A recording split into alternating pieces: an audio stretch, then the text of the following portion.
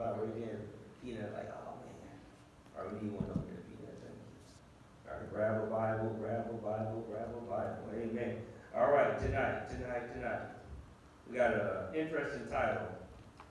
Called World War III, the War for the Mind. World War III, the War for the Mind. Turn with me to Romans 1 and 22. The book of Romans 1 and 22. The book of Romans 1 and 22. The book of Romans 1 and 22. You guys say amen, me guys say hold up, I ain't got it. The book of Romans 1 and 22. And put on my readers. Last two, y'all couldn't see that. All right, Romans 1 and 22. It says, professing themselves to be wise, they became fools. Professing themselves to be wise, they became fools. Never get wise in your own eyes. Never get so smart that you don't think you need God. Never get so smart that you think just because you got a job, you got money, you got a house, you got status, that you don't need God. Uh, yesterday I watched a, a, TV special about Suge Knight and Death Row Records. Suge Knight had amassed over $300 million. He had enough money to change not only his community, the whole community of Compton. Yet today he's in prison and broke. Because what we often do is we assume money is God. We assume that status is God. We assume that a, a, degree might be God. And we get so smart that we think we don't know God, that we don't need God. And the Bible said, never get wise in your own eyes. Never get so wise that you think you don't need God anymore. And I have friends that got PhDs. I got friends that are doctors. I got friends that got all kinds of statuses. I even have some friends that are millionaires. And if you ever get to a point to where you say, oh, I don't need God anymore, God says he's going to turn you into a fool. You don't want God to turn you into a fool. You don't want God to, to make your life look foolish. Because if you get so smart that you don't need him, he will turn you into a fool. And he will turn you to a fool so much so that everybody will look at you and laugh. And you don't want people to look at you and laugh because you, you made yourself a God. And, and here's what some people say. They say this. They say that the universe is God. The universe is God. Raise your hand if you heard that the universe is God. You heard people say, oh, the, the universe gave me a car. Or the universe gave me a job. Or the universe has healed me. Or, or the universe has gave me this. Some people say that the universe is God. Let's see what the Bible says. Turn me to Deuteronomy 17. Deuteronomy 17. Deuteronomy 17. Deuteronomy 17 is going to go down to verse 3. Deuteronomy 17, go down to verse 3. And my Bible says, And he had gone and served other gods, and he worshiped them. He worshiped the sun, some worshiped the moon, and some even worshiped the stars that are in heaven. And God says, I have not commanded this to be so. Uh, my version says this, and he had gone and served other gods, and had worshipped them. Some worship the sun, some worship the moon, some even worship the stars. And God says, I have not commanded it to be so. Some people get so smart, they say, I'm going to worship the God of my ancestors. I want to worship the God, uh, uh, uh, God. Jesus is a white man, so I want to worship the God of the black man. I, I, one of my church members is doing that right now. He, he turned his back. He said, I'm going to follow the black God because the white God enslaved me. And the Bible says there's only one God. If the universe is not God, anybody ever tell you that the universe is God, he's, he's lying. He's following the tribe of Satan. Because if you start worshiping a star or the moon or anything else besides God, Jesus Christ, the Bible says you will be cursed. And you don't want to be cursed. You don't want to be cursed. Matter of fact, some people are led, led away by uh, spiritual gurus. TED Talks. Uh, some people are led away by uh, something called yoga. I know yoga's got some people. Yes, sir. Zodiac sign. You don't worship a zodiac sign. So, for example, I, I was born in November. I'm a Scorpio. I don't worship the, the deity of Scorpio. I was just born in November. But if I was going around saying Scorpio, Scorpio, Scorpio, then something would be wrong with me. But I was just born under that zodiac sign. I am born under Scorpio. I don't worship the constellation called Scorpio. However, there are some people that do. They're called astrologists or horoscope people. And they do worship the astrological signs. And that is a sin because that's. So I, I was born underneath uh, the, the astrological horoscope sign of Scorpio, but I'm not, I don't worship none of that. Because that would be blasphemy against God. That's a good question. So the point is, never worship anything outside of God. Yoga is an interesting exercise. And you do all these different poses and all these different things, but some people are led away from God because of yoga. What you do not know that yoga is a Hindu religion. And that each pose is a different position to a different God. And I know people who've been led away from God because they start doing their yoga and they start doing their different poses. And next thing you know, they start chanting and they don't even know what they say. And you press, you pray, praying to some God you don't even know about. You start saying all these weird words, not realizing you speaking to demons. You don't realize you speaking to a demon. But uh-uh, it's just my yoga class. It's just exercise. It's just stretching. You ain't got to make no noise to stretch. Just stretch. You ain't got to make no noise to stretch. Just stretch your body out. But when you start going, and you start doing all this crazy stuff, you don't even know what you're saying. But what you don't realize, each position is a different pose to a different Hindu god. And they have a million gods. So you have to realize, you have to be careful with the things that you're doing. Don't get led away from Christ following somebody just because they speak fancy words. Because Satan is clever. Satan is, is tricky. And he will have you commit spiritual homicide. If it ain't about Jesus, it ain't about God. If Jesus ain't that, the head of it, it ain't about God. If Jesus is not involved in it, it's not about God. Don't you get tricked by somebody because you mad at this, Black Lives Matter, eh, eh, hey, we're, we're going to follow the religion of our ancestors. Oh, yeah, we're going to do all this. Because if you do, you're going to get led away from God. And what's crazy is, this life is about going to heaven. Everybody want to go to heaven. I, I don't know anybody saying, I want to go to hell. Everybody want to go to heaven. But in order to get to heaven, you got to get through the gate that Jesus opens. And in order to get through his gate, you got to follow what he says. Because if you say, I follow the God of Hanyaya, he's going to be like, well, you go with Hanyaya and go right to hell with him. Because if you come to heaven, you got to follow the God of Jesus Christ. You can't follow the God of, of, of Islam. You can't follow the God of Hindu. You can't follow the God of Shinto. There's only one God with one gate, with one key to open the gate for eternity. And the crazy thing is, I do funerals. I've done one in about a year, but I do zero. And when you standing over that body, it's real. It's real at that point in time. When the mother and father is crying, when everybody's crying, they they up in heaven now. They got their wings now. I don't lie. And I remember an old pastor, he was like, Mike, don't you ever start lying to these people to make them feel better about who somebody is He said, you tell the truth. Because if you start lying to them, they're going to think that they can live the same way, and the same thing will happen to them. The thing is, it has to be about Jesus. It has to be about Christ. Matter of fact, turn me to Romans 8.35. Romans 8.35. Romans 8.35. Don't you get followed away, led away from Christ with no ideology and some fancy TED talk or some guru from Hollywood uh, or some guy that says he knows something. He's a liar pit hell. If it ain't about Jesus, it ain't about Christ. It ain't about God. Romans 8.35. Romans 8.35. Romans 8.35. There's a phrase going around now since COVID started called be safe.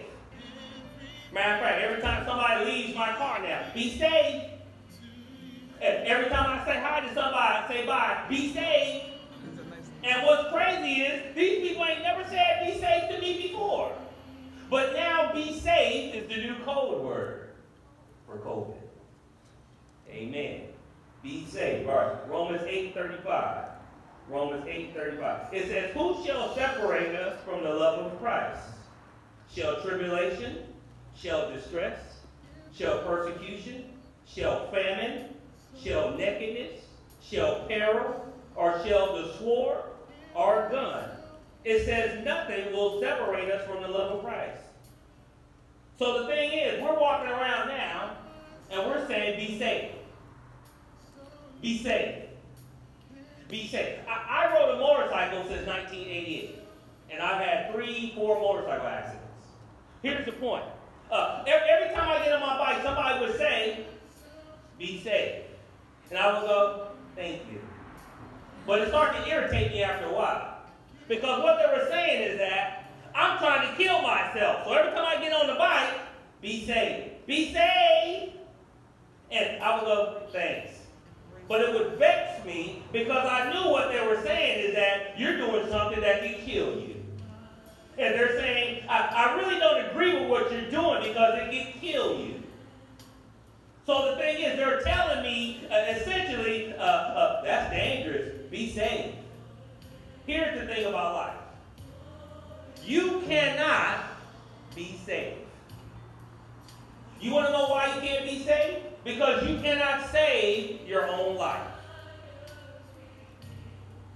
I, I, I know somebody that committed suicide. I know somebody that tried to commit suicide too. They shot themselves in the head and they lived. Now they lived as a vegetable, but they still alive. I know somebody that jumped off the top of a building and broke every bone in his body, but he's still alive. He tried to kill himself and it didn't work out. So the thing is, you don't have control over your life. The life that you have, God tells you when you're going to be born, and God tells you when you're going to die. Well, well, I see you exercising at the beach. Glad you said that. The body says in 1 Timothy 5 and 8, bodily exercise profiteth a little. What that means is, it's good to work out. It's okay. But then it says, godliness is good for everything. It's good that I go to the beach and I ride my bicycle and I work out. But if I ain't connected to God, it don't mean a thing. It's good that I can eat healthy and eat a better diet. But if I'm not connected to God, it don't mean a thing. I know a few vegetarians that died at 27. I know a few people who, who gave up meat who, who died at 35. I know a few girls who, who gave up certain things who died in their 40s. The thing is, you can't save your life. The only thing you can do is give it to God. Because God already determined the day that you were going to be born and the day that you're going to die. It's in Job 14, 5. Matter of fact, let's turn to it real quick. Job 14, 5. Job 14, 5. Job 14, 5. Go to Psalm, take a left. Job 14, 5. Job 14, 5. And it says, Seeing his days are determined, the number of his months are with thee, thou hast appointed his bounds that he cannot pass. Let me read from the Living Bible translation. You have set mankind so brief a lifespan. All his months and all his years are already pre-written. Every day that you live, God already wrote it out. You won't get no more time. That's why it's dangerous in this COVID thing that, you know, people ain't going to school, they ain't doing that, because you're wasting time. We've been in this COVID thing now five, six months. Some of y'all thought five, six months. Imagine a, a God telling you this. You got 10 minutes to live. You're like, what? I got 10 minutes left. You got 10 minutes, and then you think, I just wasted six months. You don't get no more time. I thought the richest man, Steve Jobs died with $64 billion in the bank. You don't get more time. So use the time that God has given you. Don't let Satan trick you out of your time. Don't let Satan trick you out of your time. Don't let Satan trick you out of your time. Matter of fact, turn with me to Romans 12 and 2. Romans 12 and 2. Romans 12 and 2. Romans 12 and 2. This is my old bishop's favorite passage. And it says, And be not conformed to this world, pin in that but be ye transformed by the renewing of your mind, that ye may prove what is good and acceptable and the perfect will of God. be and be not conformed to this world, but be ye transformed by the renewing of your mind. All right. So it says here, we cannot think like the world. We cannot think like the world. I brought this little mask. This is, now this is the mask that you see on TV. This is the mask. This is the mask that they tell you can save your life. This mask. What's interesting is I've been alive for 50 years without this mask. I've been shot at, jailed, in all kind of crazy situations without this mask. I've been in all kind of crazy life situations and I didn't have a mask on. But this year, they tell me that this will save my life. Now, what's powerful is I'm 50. So since I'm 50, here's some things that I lived through. Here's some things that I lived through without a mask. I, I survived something called the measles without a mask. I survived chickenpox without a mask. I survived Ebola without a mask. I survived H1N1 without a mask. I survived the whooping cough without a mask. I survived TB without a mask. But this year, they tell me that this is the key to my life. So what you got people walking around. Matter of fact, we was we were riding a bike yesterday, and long story short, uh, Joseph, he's watching, hey son, he was we was riding his bicycle, and, and the lady stopped him and said, Where's your mask? And yelled at him, Where's your mask? he was like, what? Where's your mask? Because we believe that this can change your life. Now, what's interesting, I have friends who are doctors, and, and some of them are watching. Unfortunately, this mask only, it don't even protect any of your face. It goes over your face. But oxygen can come in on the side, it come in all around it. If you went underwater with this mask on, you would get water all in your mouth. It don't really stop nothing. It's really something called placebo effect. Does anybody know the word placebo means? Okay, here's what placebo is. Uh, when I was in college, I was broke. I, have been working since I was 14. Long story short, I used to have to have a job. We were test, uh, we, would, we were called guinea pigs. We, there was a laboratory around the corner from UC Irvine. And our job was they would give us a pill, and then they would say, how do you feel? Now, some of the pills that they gave us were real, and some of the pills that they gave us was fake. And what they would do was, was record what would happen when you gave somebody a fake pill and you gave somebody a real pill. What they found that would happen was, sometimes when you gave people a fake pill, they still said, ooh, I feel better. Because it's all in your mind. Let's, let's fast forward to 2020. What Satan wants from you now is to control your mind. This is the biggest battle of your lifetime. This is the biggest battle of the last 50 years. Because what Satan wants to do now is he wants to control your mind. Because if he can control your mind, the body will follow. He will, the Bible will You have to get strong now in the mind. The Bible says, look back at Romans 12 and 2. Be not conformed to this world, but be ye transformed by the renewing of your mind. It says, be not conformed to this world. So you should not think the same way that the world thinks. There should be something different about you than, than, than the world. If you were acting just like the world, if God came back, who is he going to think? They like, oh, oh, y'all all the same. The thing is, as a Christian, as a disciple, as somebody that believes in Jesus Christ, you have to think and act differently than the world. Because God gave you something called faith. And what faith says is this. I'm not going to trust in a mask to save my life. But I will take some vitamins. I will take some vitamin C. I will take some of this because this is in the Bible. The mask is not in the Bible, but God says your food shall be your medicine. And then what's so interesting about this whole epidemic, why aren't they teaching you guys how to be healthy? If there's a flu virus going around and it's killing 6% of the people, why aren't they telling you how to strengthen your immune system? Because that's the only thing that's going to save you. It, it's funny. I have one of my friends went and got tested. She's watching right now. She went and got tested. And she called me. And she was like, H, that's what she me. H, I, I'm going to get tested. You know what I said? For what? Uh, I, I, I, got a cold. I want to see if I got it. I said, and what if you do have it? Well, well if I get tested, then I know I have it. And I said, then what can you do? And then she said, nothing. I said, can they heal you? No. Can they treat you? No. So why do you want to know you have it? Well, I just need to know I have it. Because if you know you have it, guess what you're going to start to do? Worry. You're going to start to stress yourself out. It's funny. Eazy died of AIDS. And I remember when Eazy died of AIDS, this was 1991, uh, it shocked everybody. That, that, that, would be equivalent to y'all Drake dying today of AIDS. Imagine if Drake died of AIDS. So that was what happened. Eazy E, the founder of gangster rap, died of AIDS. We were like, what the, oh my God. I was 21 years old. I was like, oh my God. Every brother was scared. I promise you, I didn't have sex for like a month. I was like, oh no, AIDS is you killing brother. We all gonna drop dead. Now here's what's funny. A group of my friends, we were like this. They were like, dog. I was like, yeah. He was like, man, I ain't getting tested. He said, if I got AIDS, I'm just going to be walking and drop dead. He said, I don't even want to know. And none of my friends ever got tested. Because we were saying, why would we want to get tested for something that they don't have a cure for? Because all it's going to do, Bishop, go ahead. So, uh, so you don't spread it. Oh, he said so you don't spread it. Uh, all right. I ain't gonna argue that one.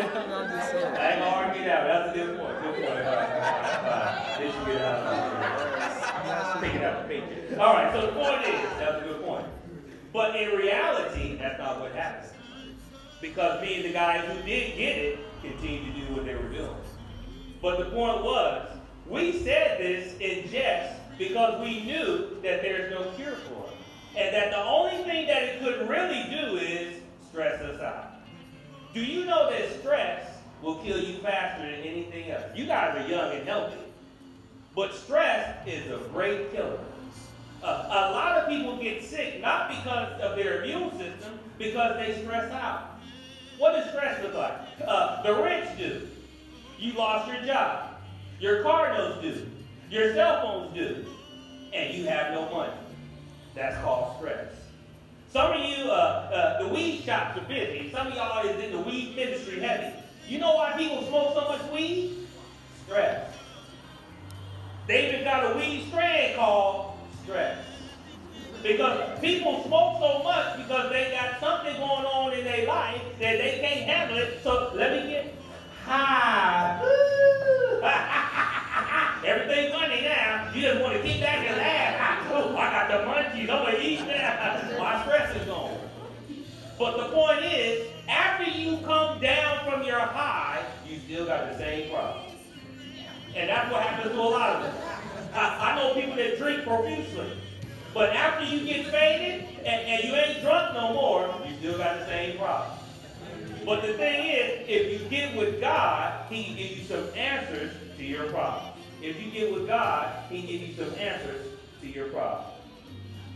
Matter of fact, uh, turn with me to Deuteronomy 10, 17. We're almost done. Deuteronomy 10 and 17. Deuteronomy 10 and 17. Deuteronomy 10 and 17. It says, For the Lord your God is the God of gods and the Lord of lords, a great God, a mighty God, and a terrible God, which regardeth not persons nor taketh reward. God is a God of gods. He's the great protector. If God is your God, he can protect you through anything. Uh, I always tell you this story. I had a motorcycle accident, that I was doing, you saw the boost in the garage. I was doing 90 miles per hour in Durango, and somebody cut me off. So I, I had, I thought, I promise you, I said, I said this to myself. I said, ooh, I guess this is it. I literally said that. I said, this, I'm doing 90 miles per hour. I've heard this story about 20 times. I'm doing 90 miles per hour. And I said, this is it. I threw the bike down on the ground. The bike slid and hit the car and split to pieces. I slid 300 yards and stopped right in front of the car. Now, Here's the thing. If I was going on me and in my own person, I'm a dead man. But when God is your protector, when God is your source, when God is the ruler of your life, he will call angels to go down and they will protect you. That's the power that you have of God. That's why you need to have a real relationship with God. Because if God is not your protector, then you a dead man.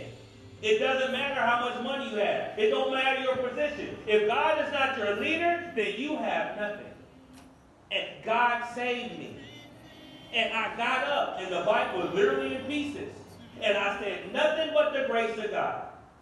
That's the power you have. That's why I'm not walking around here afraid of no COVID, no corona, ain't worried about none of that. If, if I can survive getting shot at a few times, if I can survive growing up in the neighborhood and, and not getting killed, if I can survive going to prison, or sorry, going to jail six times, then I ain't worried about no COVID. Because I know God is my source. You need that relationship with God. And the problem with a lot of us is we really don't know God. We really don't know God. Amen. Turn with me. Turn with me to Matthew. Matthew 6 and 21. Matthew 6 and 21. Matthew 6 and 21. Give me a withholding nothing, Bishop. Matthew 6 and 21. Matthew 6 and 21. Matthew 6. Matthew 6 and 21 says this. For where your treasure is, there will your heart be also. Uh-oh, about to get ugly right now. For where your treasure is, there will your heart be also. Let me translate that. I trust God with everything except my money. Uh-oh. I trust God with everything except my money.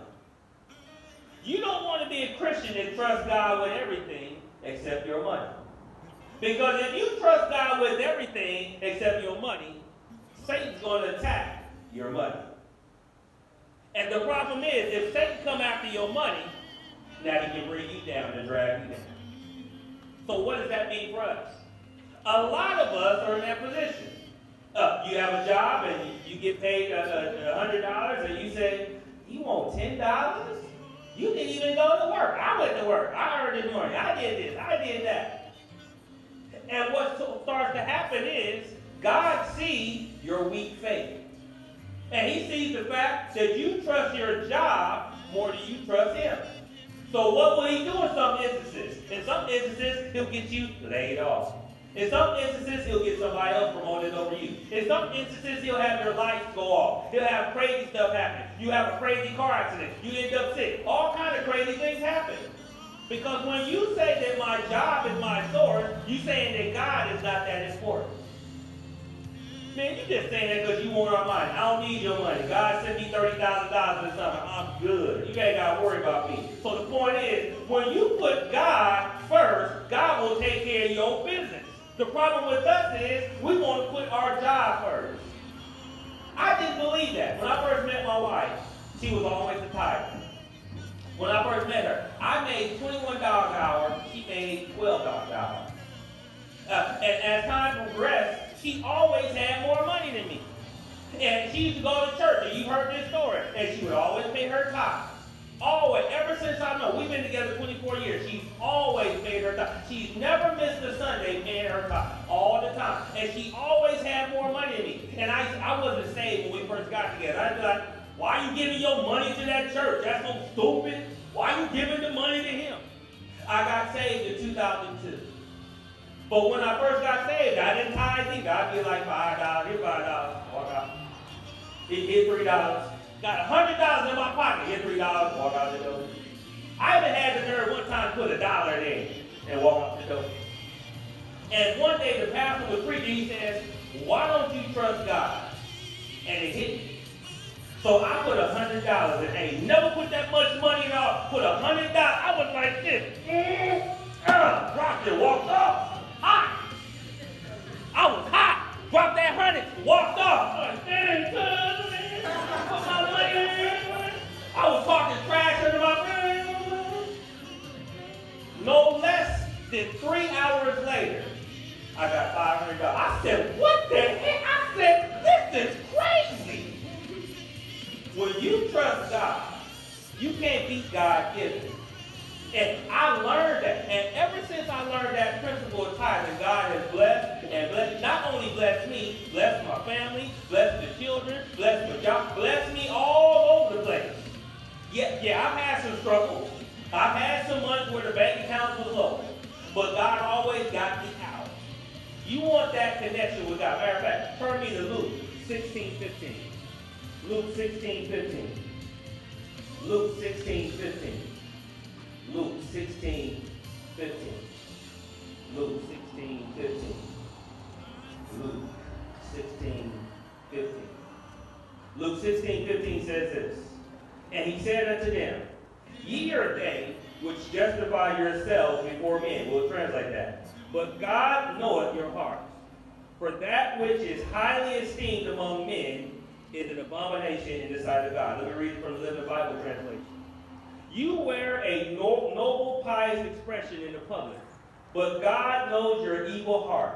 Your pretense brings you honor with people, but you are abomination in the sight of God. All right, let's translate that. You can't be fake with God. You can't be fake with God. You can be fake with other people. You can't be fake with God. And so when you really understand that, God knows you. He knows all your secrets. He knows all the crazy stuff that you into. He knows your crazy habits. He knows you. So some people like to show in front in front of other people because they try to act like they ain't what they is. I had to apologize to a friend tonight before I came here because I was like, wow, he probably think I'm a certain way. I ain't no hypocrite. I tell you, boy, I love women, and I love strip club, and you can catch me in some crazy places. But I love God. So I ain't gonna never stand up here in front like I'm perfect, I'm a perfect Christian, I'm the pastor, God bless you, bless, bless. I ain't never gonna stand up here. I'm trying to get in heaven just like y'all there. Boy, I, ooh, I, if you looked on my phone, you might see something like, oh my God, you damn, what's wrong with you? But the point is, God know me. I don't front for God. So the thing is, you gotta be real with Him. You gotta be real with God. How do you become real with God? Glad you asked that question. Turn with me to Matthew 4 and 4. Matthew 4 and 4. Matthew 4 and 4. How do you get real with God? How do you get real with God? Turn to Matthew 4 and 4. Matthew 4 and 4. Matthew 4 and 4. The Bible says this, but he answered and said, It is written, Man shall not live by bread alone, but by every word that proceedeth out of the mouth of God. What does that mean? You got to read your Bible, people. God is not going to tap you on the shoulder and be like, hey, Dayani, how you doing? Matter of fact, the Bible says if God ever talks to you, you die. He is never going to tap you on the shoulder and say, hey, Zion, you looking good today. God don't speak that way. What happens is this. When you read your Bible, then he speaks to your soul. And he speaks to your spirit. If you ain't read your Bible, he ain't talking to you. When you read your Bible, he speaks to you. If you ain't read your Bible, he ain't got nothing to say to you. When you come to church, he speaks to you a little bit. But the thing is, you got to know God for yourself. You got to develop a relationship with him. Here's how you treat God. Some of y'all got a girlfriend, boyfriend. Treat God the same way. Some of y'all, none of y'all got kids yet. If you have a kid, treat God the same way. If, if you love your mom and daddy, treat God the same way. You have to spend time with God.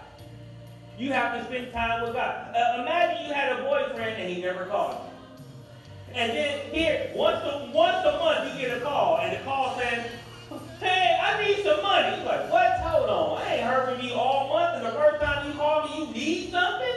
Yeah, can you help me out?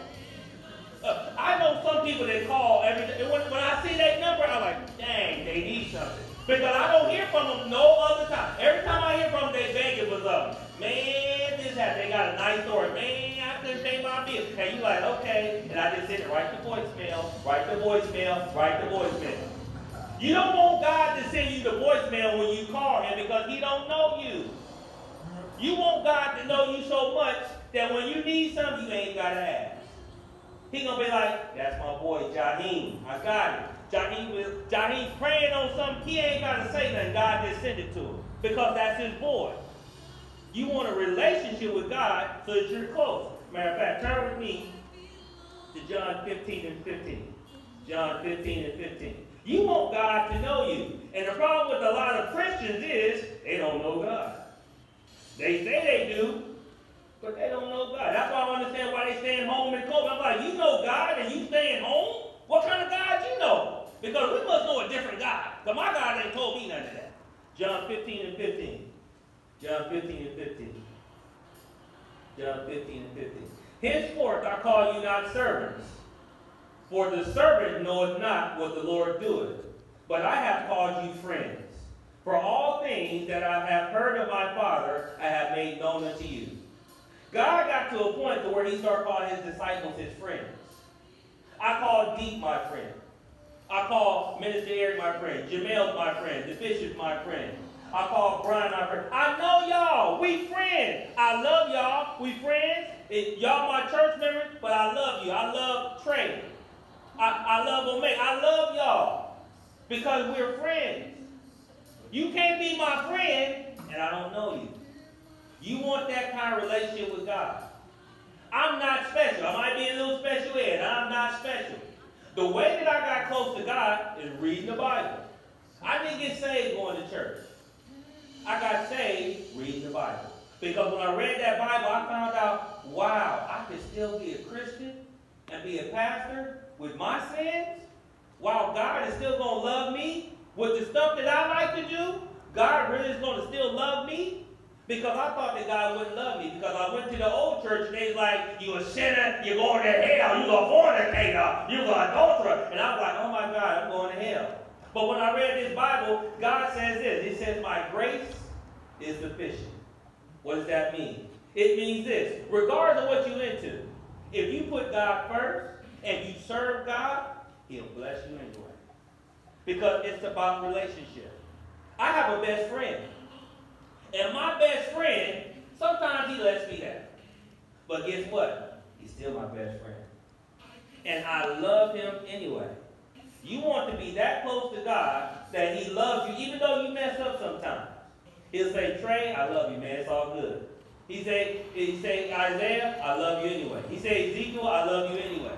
You want to be close to God. So even with, uh, did I get it right? Did I get it right? What? Elijah. Elijah. I'm going to get there. I'm getting there. I'm getting there working on it. But the point is, you want to be that close to God where y'all have that kind of relationship. And the last thing. And the last thing. And the last thing. Turn with me to Mal uh, Deuteronomy 8.18. Deuteronomy 8.18. Deuteronomy 8.18. Deuteronomy 8.18. Way in front. Deuteronomy 8.18. Deuteronomy 8.18. Deuteronomy 8.18 says this. It says, But thou shalt remember the Lord thy God, for it is he that giveth thee power to gain wealth, that he may establish his covenant, which he sware unto thy fathers, as it is to this day. Without God, you can do nothing. Let me say that again. Without God, you can do you can't do anything. You can do something, but that what you do, that is something will amount to nothing. Let me say that again. Without God, you can't do anything. But the thing that you do without God will amount to nothing. What does that look like? If God is not reigning in your life, even though you have a million dollars, it still won't be nothing. Because the thing is, if God is not in it, it won't prosper. It won't benefit anything. It's sad that uh, some people, and y'all know these little rap hippers, hip hoppers, and all these pop smoke and all these smoke smoking, Tentian, 6 9 and all these little people that y'all call hip hop superstars. They get all this money and they don't find happiness. They get all this wealth and they don't find happiness. Yeah, they get women. They got all the drugs. They got all the cars. And they still depressed. And they were like, wow, I thought this thing would take it away. I thought once I got money, I would feel different. I thought once I got the shine, I would be different. The only thing money's going to give you is more stuff. That's it. Money just means more stuff. But what God can give you is joy. When I'm riding that little bicycle on the beach, I'm like a four-year-old kid. I'm riding, matter of fact, I'm going to ride tomorrow. I think me, Trey, and uh, a couple others, we're going to ride tomorrow. I've got a little Jesus. I, I promise you, I thank God every time. Thank you, Jesus, I'm riding my bicycle. I'm so happy riding my bicycle. God will give you joy. I don't need $28 million for God to give me joy. I need my help. I need my strength. And I thank God for health and strength. If you've never been, how many people been to the hospital before? Not visiting, I mean you in the hospital. Amen. Imagine when you laid up on that gurney, how you would think about the things you wish you could do. And it's so sad that people got health and strength, and they won't come to no church. They got health and strength, and they won't help nobody. You want God to keep you fulfilled with health, with strength, and with joy. And with joy. And with joy. And the last thing. 1 Peter 1 and 5. Way in the back. 1 Peter 1 and 5. We done after this. This is the very last thing. Deacon, I saw Deacon look at me outside his eye. Is that the last thing or is that the last, last thing? Because you always say the last thing. You always, you be lying. How you going to lie to the pastor? It don't make no sense. You're a liar. All right, uh, 1 Peter 1 and 5. Go down to verse 7. It says, that the trial of your faith, being much more precious than gold that perishes, though it be tried by fire, might be found unto praise, honor, and glory at the appearing of Jesus Christ. Let me translate all that. God is going to test your faith. God is going to test your faith. You can say, I'm a Christian. And see, you say I'm a Christian, all right? Say like, oh, for real? You one of them? You from the hood? The hat go back. Oh, you from the hood? Now it's a different one. Oh, you from that hood? It's a different look now. Oh, you one of them, huh? I. See, the thing is, once you say you a Christian, now Satan is going to test you. And he's going to test your Christianity. Oh, you one of them people? Let me see what you about. And he's going to hit you with something to see how you respond. That's one of the scariest things about this COVID. Satan called a whole lot of Christians out. They done plumped out, they walked away from the whole hood. They gone. I ain't with that Christian stuff. I'm gone. I'm, I'm social distancing, homie. I ain't got time for that. I'm in the house. I'm so, where my mask at? I'm saved. I'm, I'm. They social distancing. And he like, punk, you got called out. Where you at now? Where's it at now?